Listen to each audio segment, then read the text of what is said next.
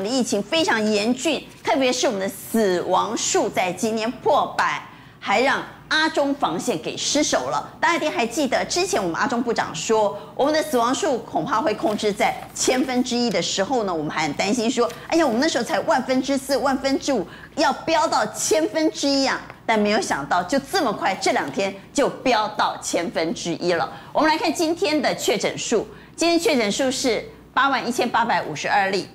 中症二四二，重症九十一，比较令人担心是死亡数高达一百零四例，已经飙破了阿中防线。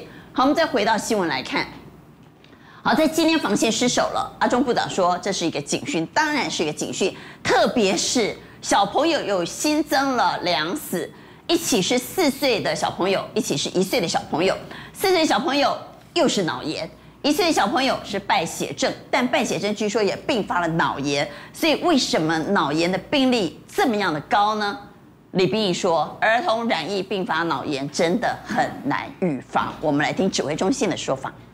那今天的本土病例是八万一千八百五十二号，那死亡个案是一百零四例，新增了这个三百三十三例的个本土中重症以上的个案。因为今天的染疫死亡人数是这波疫情首度破百嘛。那想问一下，说我们的这个死亡率是有来到了万分之十，会不会，或者是会不会担心说会突破这样的一个死亡率的数字？死亡从昨天的呃七十六位是吧？哈，到今天的一百零四位，啊，其实大概都是在反映在五月十八、十九这以后，啊，大概就是每天确诊数数字的八万多，那这样的一个数字在这两天来看，就会超过千分之一了，好，那不过整体用比较长的时间来看。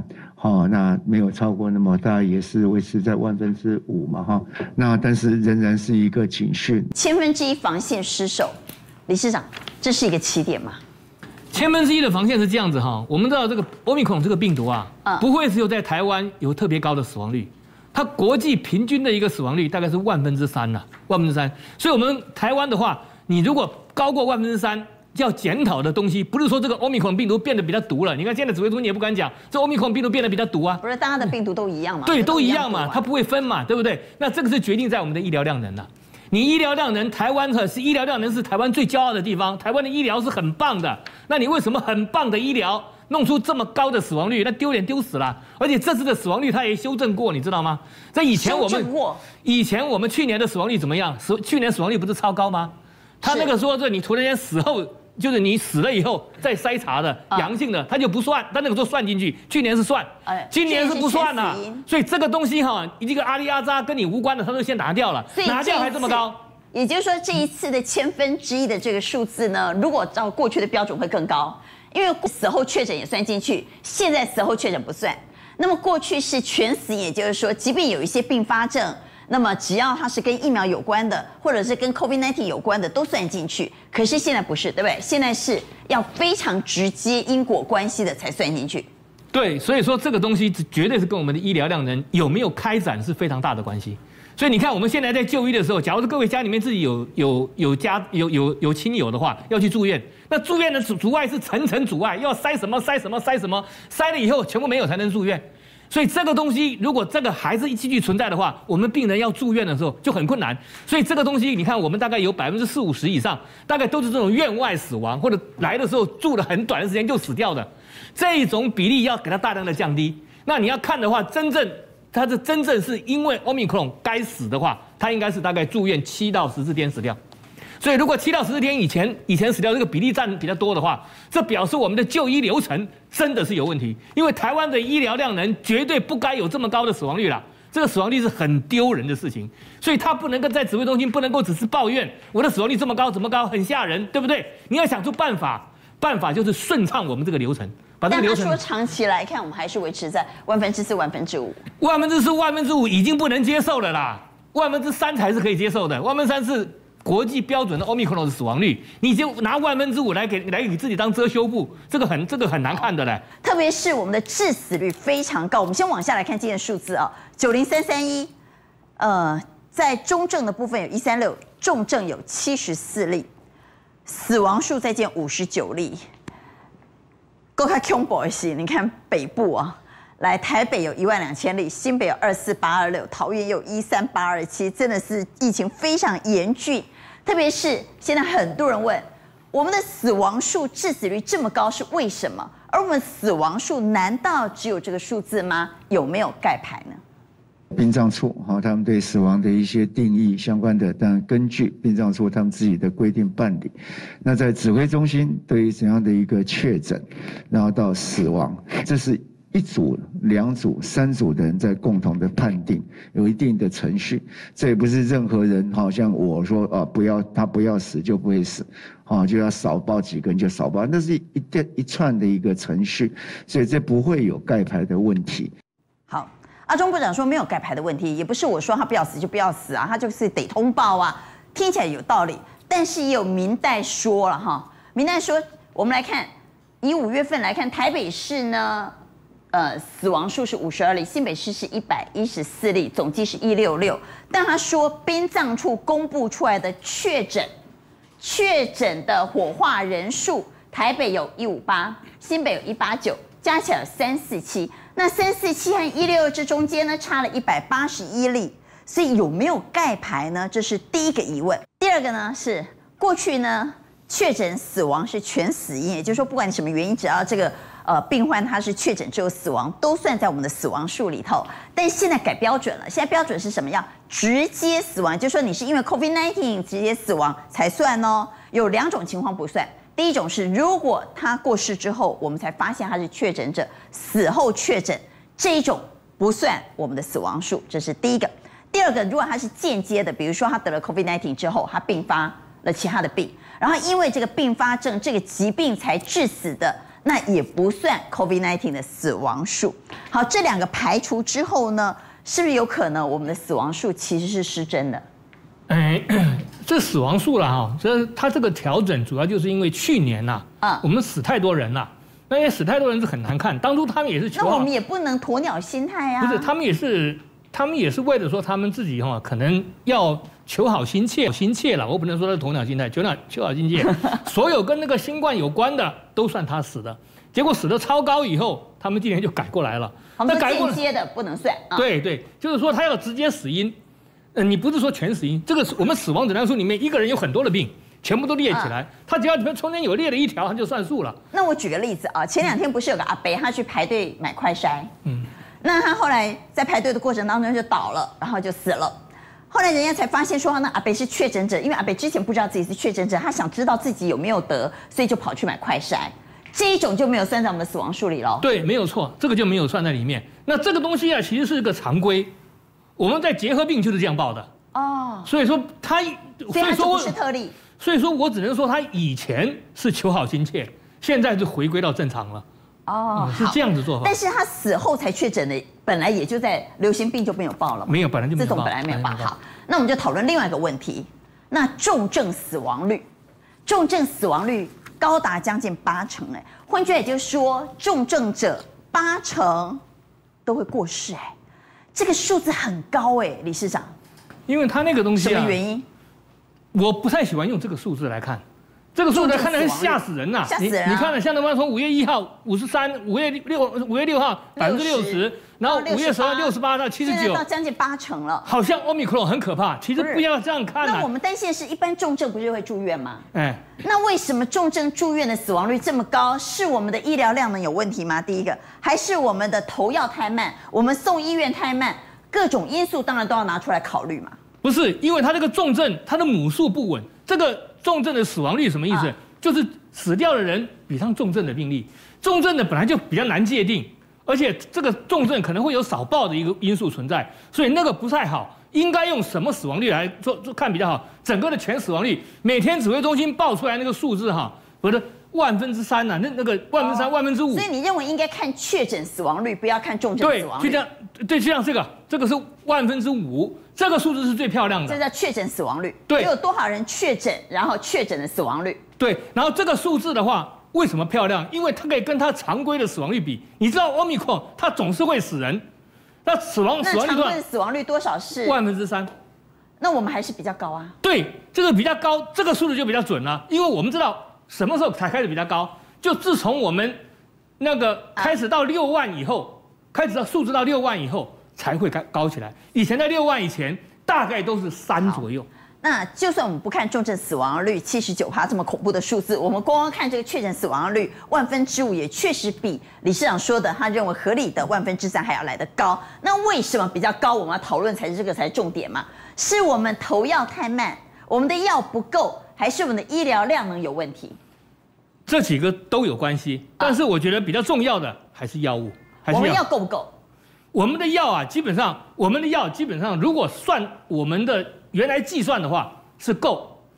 为什么够？你看到哈，我们假定哈，台湾哈两千呃两千三百万人，两千三百万人都染疫，那根据 Omicron 常规的死亡率万分之三万分之，三，万分之三我，们用万分之三算好了。不不能用万分之三算，因为你投药的人才死掉，那还那还行啊，不行嘛，对不对？他要乘以什么？要乘以十倍。哦我要是10倍乘以十倍，我就是说还没死的人我都要投的意思啊！你不能说，我投的人每个都死，那这个是投的不行，对不对？因为他已经中重症，或者他刚开始你就应该投药了嘛。对，所以他是什么？六点九万人，你两千三百万乘以万分之三，呃，千分之三的话，千分之三就是六点九万人嘛，然后乘九十倍。哎，乘以十倍，因为每个人每个人每个人得呃投十天呃十份的药，也就是说，如果用这个公式来做计算，台湾至少应该要准备六十九万份的药。对那台湾有这么多药吗？看来是有的，因为光光辉瑞口服药我们买了七十二万份。那大家一定还记得前两天又来了，呃，沙东是不是叫做莫沙东莫沙东好，莫沙东来了三万五千份，所以我们总计有七十五万五千份。照理说我们的药是够喽，那就不是药不够的问题，好，那就是发药的问题。发药有什么问题呢？我们现在累计确诊数已经超过一百万人了，而且每天今天还九万多例，但我们总计累积起来，我们发药口服药才发了一万八千七百五十一份。哎，就拿今天九万多例才发一万八千七百五十一份，光比今天你都觉得怎么那么少，更不要讲累积了这么多哎。其实这已经不少了，你这个不把它少了吗这已经不少了，这已经超过。你看，把这个一万八千多比上七十七十五万，你看多少？那超过了百分之百分之二三左右了。哦，所以在这个情况之下的话，其实我们发的量够多，可是发的量够多还死那么多人，意思在什么？意思是什么？所以你现在觉得一万八千七百五十一份发的量够多啊？够多了，我们要发的比例应该是千分之三啊可是不是据。说早期就应该投药吗？对呀即便在轻症的时候就应该投药吗？对啊，没有错啊，我们怎么会投那么少药呢？我们这千分之三就已经是已经是早期投药了。哦哦，我们死亡的所以说，即便是早期投药，也很多人其实不需要这样的口服药。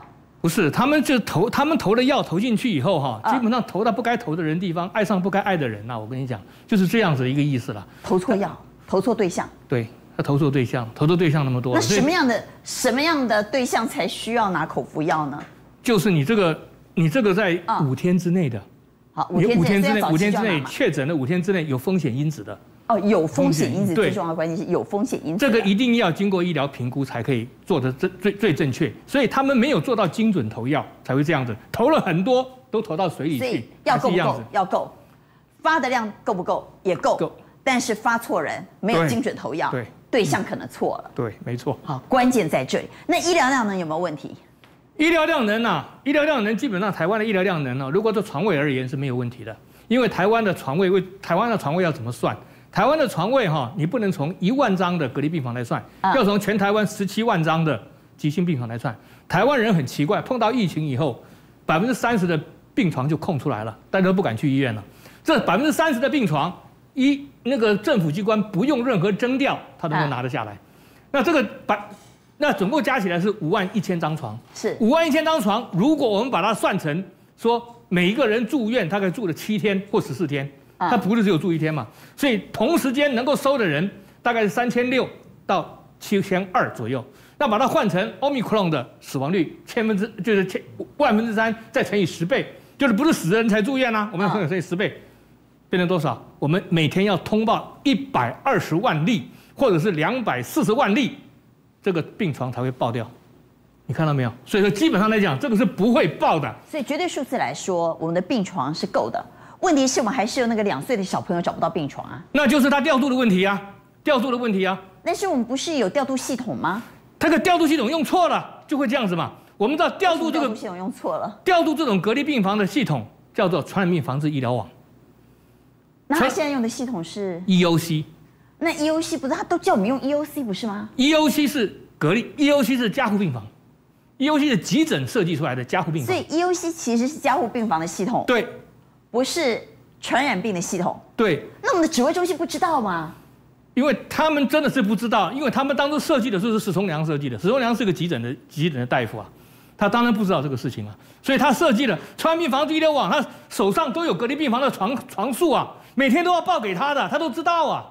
结果那个病人去找他，找的时候找到找到 EOC，EOC 走的是隔离病房，因为这个传这是加护病房，加护病房是干嘛的？出现大车祸、大的爆炸的时候，你找他，那隔离病房他可以，他也就是说，我确诊我要找的是隔离病房，找的是专责病房。对但政府叫我查的系统是找加护病房的系统，那政府竟然连这一点都搞不清楚，那也太离谱了吧？对，中央跟地方都搞不清楚。中央搞中央搞不清楚是说他要用 EOC 去调，那哦地方搞不清楚是他自己在调，这都不对嘛。他的因为这个病房全部都会报给地区的指挥官，所以问题就在这个地方。好，我们的致死率为什么这么高？重症致死率为什么这么高？或者是确诊致死率又为什么这么高？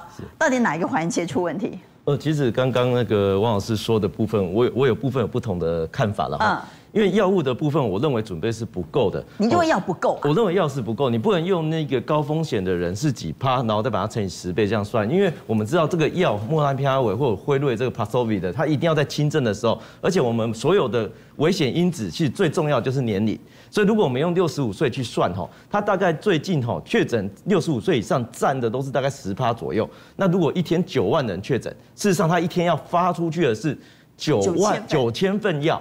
然后我们的六十五岁以上老人那我们累积到现在只发了一万八千份药，是啊，所以一天累积到就要发九千啊。那如果一天就要发九千份，我们累积才发一万八，从这个角度来看，我们要发的不够。对我，我先举一个我自己岳母的例子哈，因为啊其实呃，我岳母是自己住在院里啊，哦，然后她独居，所以我们我太太非常担心说她染疫之后没有人照顾，所以先帮她去问一下，就问了院里当地的医院哈，那呃李仲和医院，他告诉她说，呃，他没办法现场帮你 PCR，他没有这个能力，好，这是当地唯一的医院哦，那怎么样可以帮他看呢？说你先。呃，不舒服没办法，你还是得一直塞，快筛筛到阳性。啊，我之前已经有跟观众朋友分享过，其实要快塞到阳性，其实你已经发病好几天了哈。筛到阳性之后呢，你打电话进来，快筛到阳性，你发病好几天了。对啊对啊，因为你病毒量要够高嘛，哦哦，所以初期你验会漏掉三到六成啊，所以你就拖了两三天去的。然后呢，你打电话进来之后，哎，给他确认说你有快筛阳性之后，他再帮你约感染科的时间来视讯看诊，哎，到时候要排队。那这中间是不是还要 PCR？还是已经不呃，没有？就现在现在政府的连数字以上不用了对，现在政府的美意就是我视讯远端可以帮你确诊哈，让你有机会拿 p a 所 s 以 o 六。十五岁以上的人已经不需要 PCR，你只要两对，但是哎你就可以关键去就来了。关键来了，一个礼拜只有一个诊呐、我要等七天呐、一个礼拜才能排到一个诊呐、所以我等到七天，我再加前面三天，搞了十天了。呃，就就是如果你排不到那一天的门诊的话，你要再等啊。最多有可能等到呃七天。那我就说啊，那我想要现在赶快去确诊，能去哪里呢？他说你要去大甲的光田医院，然后我就帮他看一下，哇，我的岳母六十五岁，我必须要一个人不舒服，然后骑着机车骑了十五公里，三十几分钟到大甲的光田医院里面去排 PCR，然后不知道排几个小时，然后现场之前是说现场排、呃做完 PCR 之后让你回家就是我，如果等不及视讯，我赶快去拍 PCR 嘛。对对，等不及视讯，结果你要骑寒风中你要骑的这样的车，好，呃，一个六十五岁的老人，你要想一下哦，然后然后他做 PCR 做完之后是之前是让你回家，等哎。哎，对啊对啊，也要等你，你也不是当下就刚你确诊啊嗯，也没有啊，所以等到你再拿到药，再通知你 OK，你可以来领药，哇，又不知道几天之后，所以我们目前呃双北也许解决了啦，但是请各位观众朋友注意一下，我们中南部偏乡的这些长辈，事实上医疗的资源是非常匮乏的，所以我我我我很替他们担心啊，因为现在开始往南烧了嘛，哈，开始往南烧，南部的疫情、中南部疫情，事实上在这几天会再翻倍、再翻倍，好，大概翻上去，所以我们的确诊数一天的高峰应该会十五到二十万啊，所以下面还没烧到，但是我们能够得到，真的会有十五到二十万吗？我们 PCR 做不了那么多。呃，中南部的 PCR 还没用完。哦还还有机会，对啊，如果确诊阳性，呃，快筛阳性后可以视同确诊的话，那要六十五岁以上才行啊，对对对啊，所以或三大族群。所以现在就是医疗的分布不均，跟中南部事实上还没做好准备，是让我们其实会很担心这些长辈的。来问一下苏青，你接触这么多第一线的医护人员，他们有没有反映为什么我们的病人送进医院这么快就病逝啊？嗯，我必须说，真的是他的病程非常的快。为什么呢？因为从刚才说中位数三天，大家就知道，意思是将近有百分之五十的人都是三天之内就死亡。更重要是，很多人是确诊当天就死亡，甚至有些人是死亡之后才确诊。那究竟发生了什么事情呢？有一些医生就讲，第一件事情是确诊的时间太慢了。简单的说呢。医生说，比如说他们在急诊，有时候碰到的甚至老人家是什么？老人家可能是在家里面跌倒了、骨折了，送来医院。这个时候来以为说我要帮他医骨折，一验发现不得了，老人家其实新冠病毒已经感染了，可他自己不知道。有些时候，新冠病毒的感染对于本来有一些神经退化疾病的老人家来讲，他可能造成他有一些看起来有些忘呃谵妄啊，或甚至造成他影响他的行动能力。所以家人完浑然不知他有感染，跌倒了送到医院来才知道。这个时候不知道他已经发病第几天了，这个时候用药可能就有问题了。所以第一，确诊时间太晚。那确诊时间太晚是怎么造成？必须说在明天才要实施快筛养级确诊，对不对？在之前。你要买快筛，要到 PCR，要到真正结果出来，可能已经四五天了，怎么用药呢？加上老人的症状不明显哦，必须说，很多人都说，难道你们家老人健健健康有问题，你都没有观察到？没有，医生说很多老人症状都不明显。第一，他烧不起来，小孩子可能一烧，甚至哦到三八三九，你会害怕，对不对？他说老人呢烧到三十七点八就不得了了，可是你可能觉得憨憨啊不下来急啊，一冰熊的安内，所以烧不起来。第二。他不冰熊的老狼少啊，贫穷生我只咳一下，所以你也觉得还好，所以他有可能是消化道症状来，你不知道，你就是一落塞，结果就是，所以很容易延误。阿中部长说，有没有可能我们这个重症的标准太严苛了？外面人说他重症标准太严苛，因为我们要到很严重才算重症嘛。说因为重症的认定其实没有那么明确，是不是说住 ICU 啊，还是干嘛算重症？那如果说今天从中到重的变化中，有些医生就会说，会不会你这个中到重的变化没有把它厘定的那么清楚，以至于我在最恰当的时间用最恰当的药物，没有这么精确的时候，就造成了整个情况没有那么理想。轻症用的药跟中症用的药跟重症用的药是完完全不一样。比如说，我们可以怎么样去区分中症跟重症很重要。是，所以他就说，比如说我们现在大家都已经很清楚了，就是辉瑞跟莫沙东，就是针对这些高风险族群，你还是轻症确诊五天之内赶快用。为什么呢？因为它最主要是让病毒不要复制，否则你已经感染很多天，复病毒已经大量复制，再用它嘛不好啊。所以这个是就知道嘛，对不对？另外，不要是在轻症的时候就要用了。对，但五天内每个人都需要。是，如果是轻症里头的高高风险族群，你就那么一定要用，而且要越早越好，越早用在五天内。是，另外一个就是瑞德西韦。瑞德西韦呢，大家就发现，哎，瑞德西韦什么时候用？瑞德西韦这时候用的时间很妙。他们说，你如果很轻症用它也没有用，因为之前就研究说对它没用。可是呢，它有一个很巧妙的用药时间点，就是它需要氧气。但是他还不能插管，插管以后用它没用，要他已经开始需要氧气，比如说他可能开始要接那个外面的氧，不是呼吸器哦，或者是呃贾永杰送的那个救命神器，你可能要增加氧流量。那群人他在中症的时候可能用瑞德西韦是有效的，可你等到他插管他重症，其用它就不好，这个时候就要用这两个，就是他说地塞米松跟塔西单抗。这两个东西什么呢？最主要就是说抑制身体里面过度的免疫反应，因为很多人会死亡是因为他身体里面太激烈了，造成自己的身体变成。焦土的战场，这个时候呢，后来就救不了，所以就最后重症的人通常用这个。可是你看哦，刚才我说它是抑制它很严重的免疫反应，就告诉你它其实也不算真的超级的特效药。这个时候要仰赖是什么？仰赖就是真的有时候就是支持性疗法，还有很这个很缜密的、很精确的这个叫做支持。可是问题，台湾现在面临什么？面临指挥中心都会说专责病房还有空房，可是大家有没有注意到？专责病房有空房，可是人力够吗？如果有空房，并且人力够，为什么会突然间专责护士人力要从一比五变成一比九？甚至有一些我们都比较班的时候更多。就是说，当你的人物人力照护比例低的时候，你真的没有办法做到那么精确的去调整它，一直去调它。甚至之前有人说，拜托，这些人都装呼吸器的，如果你一个呼吸治疗师、两个呼吸治疗师确诊了，谁来照顾他？就医疗的人力也在这一波大幅受到影响。所以这种种的种种，第一，确诊时间太慢。第二，我们这些有些医生认为说，是不是有的中重症的这个标准没有那么明确情况下，使得我们治疗的成效或者我们真的死亡，哎，我们的重症死亡率很高，哎，我们重症死亡率几乎到八成，对，五个里面有四个，对，七十几趴，我们的重症死亡率也不低，十九趴，将近五个里面有一个，所以到底这个情况要怎么解决？我觉得这真的是接下来很重要，因为今天是七十几个哦，我们很担心这是浪潮的起点。因为它不一定是浪潮的高点，这才是我们最在意的情况。这是浪潮的起点吗？我们等会再来问秀熙老师。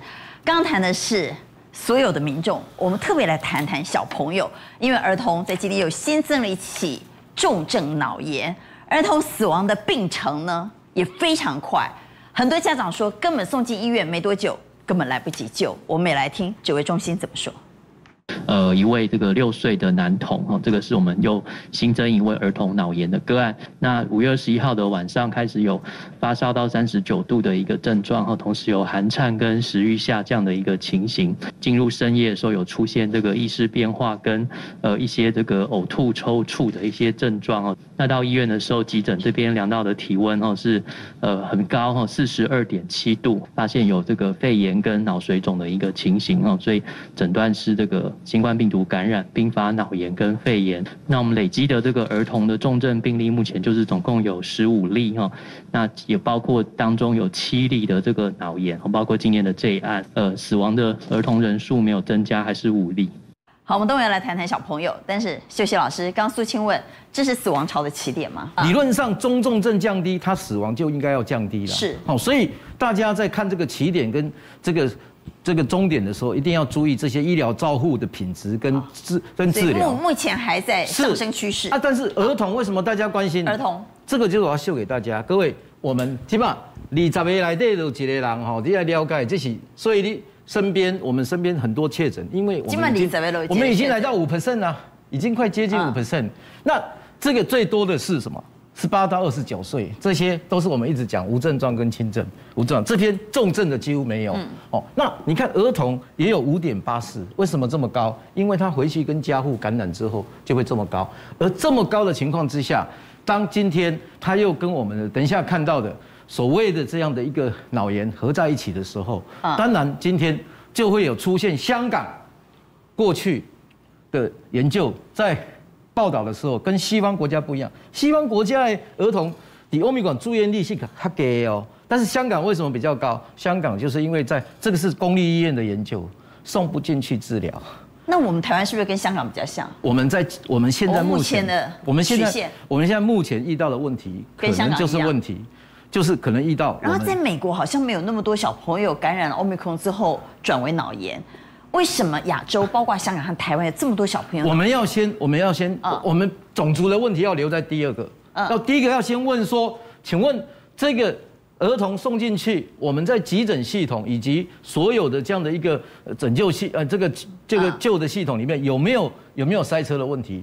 我问你，急诊前一阵子有没有塞车？绝对有，有，这个是大家承认的问题。嗯，今天阿中部长没有承认。不。